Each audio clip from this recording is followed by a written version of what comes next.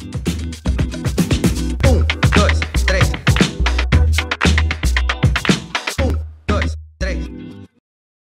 Hola amigos, bienvenidos al taller de cocina Chef Capravo. Hoy voy a daros un consejo. Nos gustan mucho las acachofas, pero no nos gusta que queden negras. Consejo. Tenemos la, carchofa- la la cachofa torneada, eh, la, la dividimos, la partimos por la mitad, le quitamos los pelitos de dentro que no son agradables en boca, ¿vale? Y una vez la tenemos limpia, con toda la parte carnosa, que esta parte nos la podríamos comer toda, la ponemos en un vaso con agua. ¿Qué le añadimos para que no se nos oxide? Un poquito de harina y lo removemos bien para que se diluya todo y quede bien, bien homogéneo y bien repartido.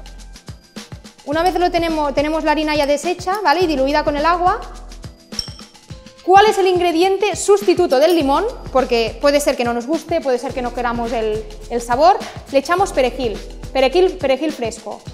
El perejil tiene un alto contenido en vitamina C, con lo cual, ¿qué nos hace esta vitamina? Nos da el poder antioxidante, que es lo que necesita la cachofa.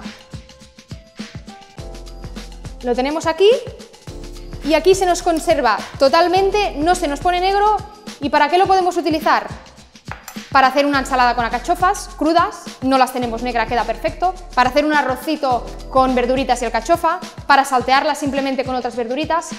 Infinitamente para muchas cosas sin que nos quede negra. Así que espero que la próxima vez que compréis alcachofas utilicéis este consejo.